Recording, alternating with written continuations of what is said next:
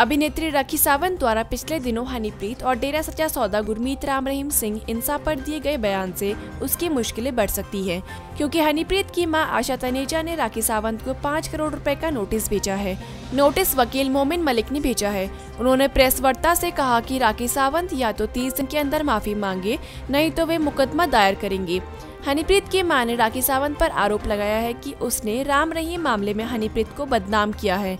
वकील मोमिन मलिक ने कहा कि आज राखी सावंत को पाँच करोड़ रुपए का लीगल नोटिस जारी किया है।